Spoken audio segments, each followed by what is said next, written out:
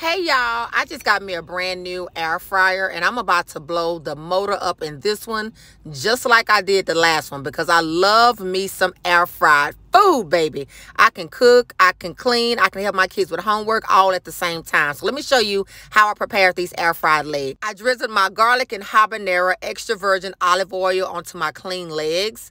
I seasoned my chicken legs with Brass Cuisine's chicken seasoning as well as Brass Cuisine's Tuscan seasoning. Now both of these seasonings as well as the garlic and habanero extra virgin olive oil is available on my website at brasscuisinespices.com. Now as a binder, I went in with French French's creamy roasted garlic mustard. Combined everything together and this is how the chicken legs came out looking. They are thoroughly seasoned and well coated.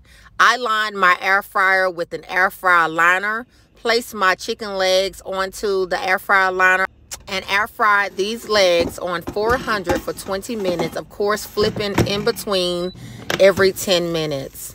This is how the chicken legs turned out. They were juicy, they were well seasoned. They were beautiful. I paired them with some bow tie pesto alfredo pasta for my kids and I dinner last night.